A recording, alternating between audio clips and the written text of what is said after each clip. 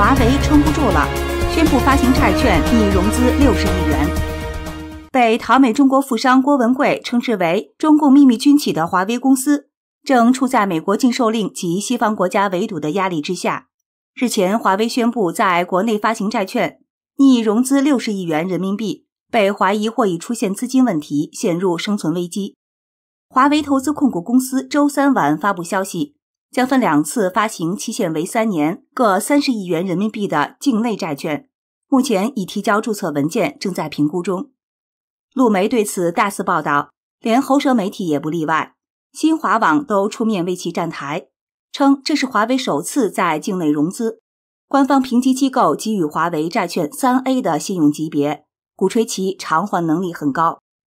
此次的融资被官媒宣传为支持华为等同于爱国。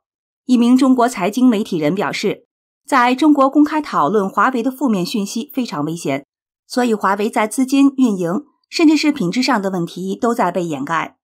不过，自由亚洲引述中国观察人士指出，华为在国内融资，说明其运营已出现危机。以往一直采取的境外融资可能很难再筹到钱，因为在美国围堵的背景下，没人敢再借钱给他。同时，华为间接与一些欧美财团达成利益捆绑的营运战略也遭遇挫折。华为一直以员工控股的民营企业自诩，但美国法律专家一份调查报告指，华为员工持有的虚拟股权不能转让，只能分红，不享有真正的股东权益。而实际持股的华为工会隶属中共掌控的中国总工会。前两年，华为创始人任正非曾公开表示，华为不缺钱，所以不上市。被外界怀疑是华为不敢上市融资，因其无法解释所谓民营公司的股权结构。美国副总统彭斯则将华为称作是中共的全资子公司。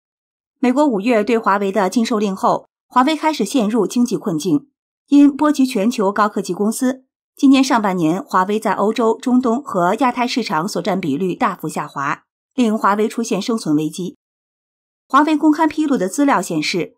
由二零一二年至今，该公司曾六次在境外发行债券融资，最初两次总额为二十六亿人民币，已经到期偿还。从二零一五年到二零一七年的四次总额四十五亿美元，目前都没有到期。